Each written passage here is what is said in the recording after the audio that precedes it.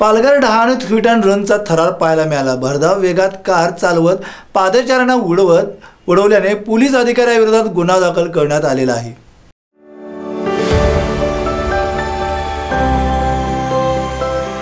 डहाणू इथं पोलिसांकडून hit and रनचा थरार पाहायला मिळालाय. मध्यरात्रीच्या सुमारास भरधाव कारनं चिंचणी तारापूर बायपास रोड इथं दोघांना चिरडलं जखमींवर मुंबई इथल्या नानावटी रुग्णालयात उपचार सुरू आहेत. एकाची प्रकृती चिंताजनक असल्याचं नातेवाईकांकडून कळून आलंय.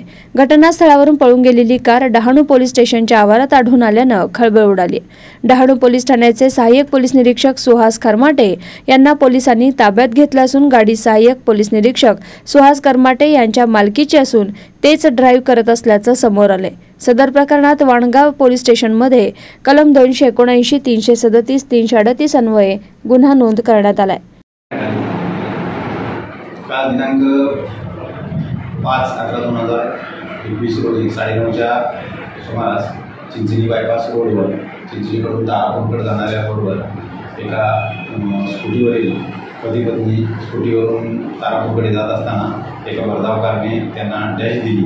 अशी माहिती प्राप्त झाली आणि ती कार काही त्यांना मदत न करता समोर निघून गेली. असं समजल्यानंतर त्याच्यावर आपण गुन्हा दाखल केलेला आहे. आय पी सी सी दोनशे एकोणऐंशी तीनशे सदतीस तीनशे अडतीस आणि मोटार अ, मोटार अधिनियमाचे एकशे चौऱ्याऐंशी एकशे सत्त्याऐंशी प्रमाणे कलम लावलेले आहे आणि सदरची गाडी ही ठाण्यामध्ये एका पोलीस अधिकाऱ्याची आहे असं समजलेलं आहे. त्याच्यावर त्या अधिकाऱ्यावर गुन्हा दाखल केलेला आहे आणि पुढील कायदेशीर तपास चालू आहे. Bureau report SBN Marathi.